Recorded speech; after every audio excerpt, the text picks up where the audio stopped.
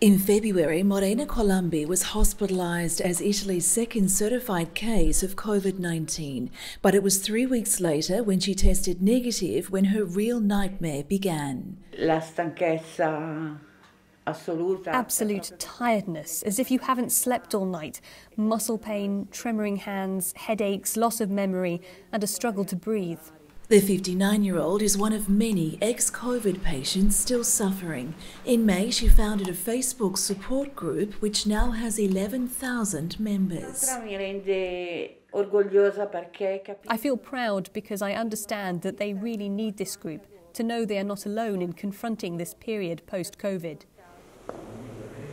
Church officer Emanuele Mangili is also struggling to return to his former life, battling aching bones and muscles.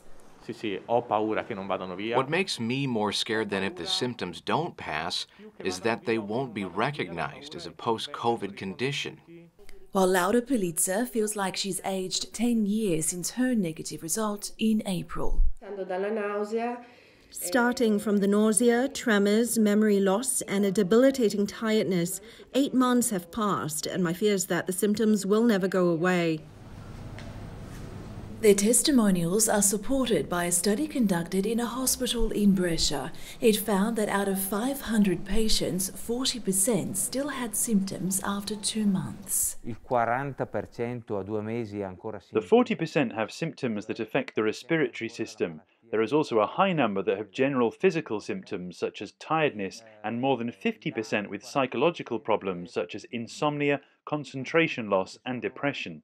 Many ex patients feel neglected by the healthcare system and want more support. The group is waiting for a government response. Ci sentiamo un po' fantasmi. We feel like ghosts. We are asking for help and recognition.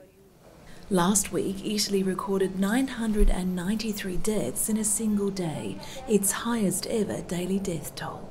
The rate of contagion in Italy's second wave of infection is now finally slowing down, but the government says restrictions will remain in place over the festive season in a bid to prevent a third wave in January. che stiamo diventando un popolo di malati. We are becoming a population of sick people, and so while lockdown is difficult now, it is necessary for the future. A future uncertain for many still unable to overcome the effects of the virus.